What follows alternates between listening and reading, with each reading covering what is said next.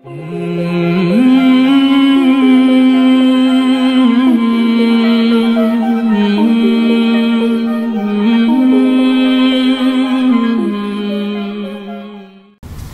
वालेकुम वरहमतुल्लाहि फ्रांस में दहशतगर्दी का एक वाक़ पेश आया नाइस शहर है, नाम।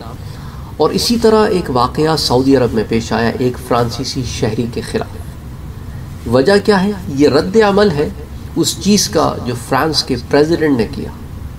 लेकिन ये जो लाए अमल इख्तियार किया गया है, ये गलत है। फ्रांस के शहर नाइस में जो हुआ, कि एक चर्च में सुबह नौ बजे एक शख्स दाखिल हुआ, उसके हाथ में छुरी थी, और उस छुरी से उसने वहाँ पर मौजूद दो लोगों को मार दिया। तीसरी एक औरत, जिसे उसने ज़ख्मी किया, वो चर्च से भागने में कामयाब हो गई, पर करीब ही एक कैफ़े में दम तोड़ गई। इसी तरह सऊदी अरब में फ्रेंच काउंसलेट के बाहर एक शख्स पर अटैक किया गया, जो गार्ड था वहाँ का। उसकी सिचुएशन लाइफ थ्रेटनिंग नहीं है, लेकिन जिस आदमी ने अटैक किया, उसे फिर पुलिस ने पकड़ के जेल में बंद कर दिया, और जिस आदमी ने फ्रांस में, नाइस में इन तीन लोगों को अटैक करके मारा उसको फिर पुलिस ने यू नो हिरासत में लिया, उसको हॉस्पिटल ले गए बिकॉज़ उस पर गन वूंड्स उसको शॉट किया था तो उस पर गन वूंड्स हैं। He is hurt he is in the hospital पर वो ज़िंदा है। ये तरीका नहीं है एहतजाज का। This is something that I have been telling from day one कि ये कोई तरीक़ा नहीं है एहतजाज करने का कि आप जाकर किसी भी मुल्क के शहरीों को मारना शुरू कर दें। इस्लाम ने यह तालीम नहीं दी है। हुजूर अकरम सल्लल्लाहु अलैहि वसल्लम की तालीमात तो ये हैं कि जब आप जंग में भेजते थे, जंग में तो अपने जर्नैलों को हिदायत क्या देते थे कि जो तुमसे ना लड़े, उससे ना लड़ो। उनके आम शहरीों को मत मारो। औरतों को, बच्चों को, बूढ़ों को, माजूरों को हाथ ना लगाना। उनके रिलीजियस लीडर्स को हाथ ना लगाना। उनकी इबादत घरों को हाथ ना लगाना, उनके दरख्त न काटना, उनकी फ़सलें न जलाना, उनके घरों को न तोड़ना। हुजूर अकरम सल्लल्लाहु अलैहि वसल्लम की तालीमात तो ये हैं। और बारह रबी अव्वल के दिन, जो हुजूर अकरम सल्लल्लाहु अलैहि वसल्लम की योम पैदाइश के तौर पर बनाया जाता है, इस पर मैं आपको पहले भी बता चुका हूँ, इख्तलाफ है लोगों में, उलमा में, महीने का भी इख्तलाफ है। बाज़ का तारीख़ में का इख्तलाफ है, लेकिन वो कहते हैं महीना तो रबी अव्वल का था।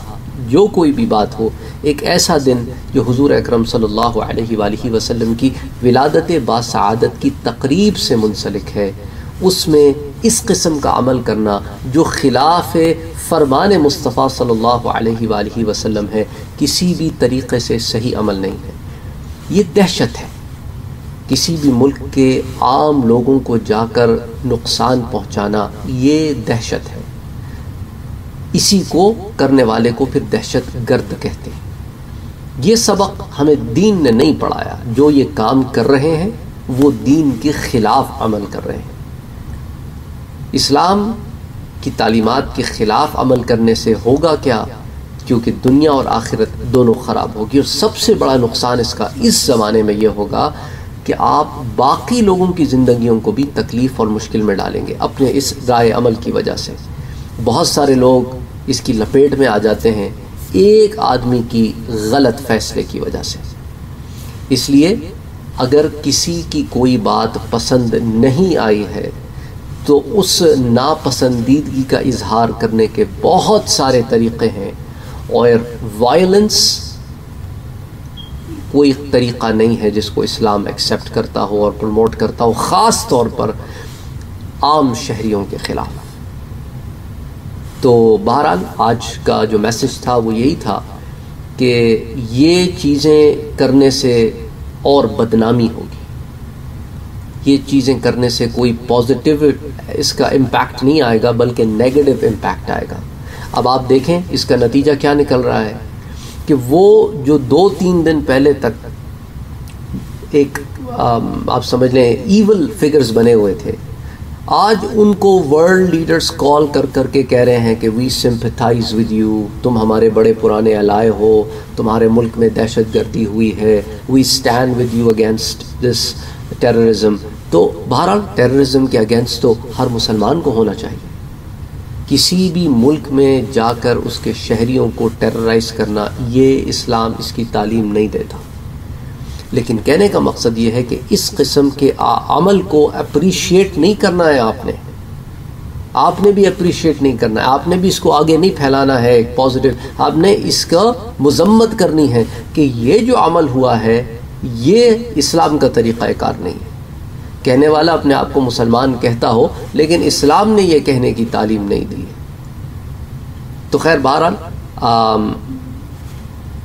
I sympathise with all those families who lost their loved ones और uh, या किसी भी तरीके से उन्हें तकलीफ़ हुई हो।